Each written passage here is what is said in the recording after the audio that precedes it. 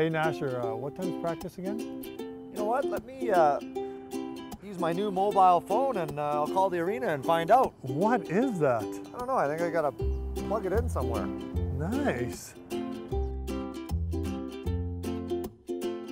What do you mean there's nothing under the hood? You said you thought that this was a car and it was built using wind, like a windmill?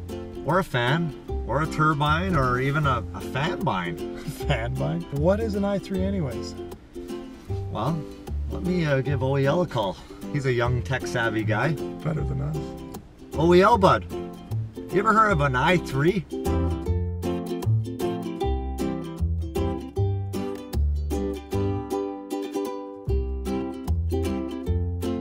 Wow, that nose hasn't changed since 1996.